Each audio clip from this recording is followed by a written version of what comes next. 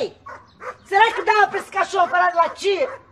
Senão eu vou ter que descer aí, pular em cima dele até ele virar patê. Uh! Psh, psh.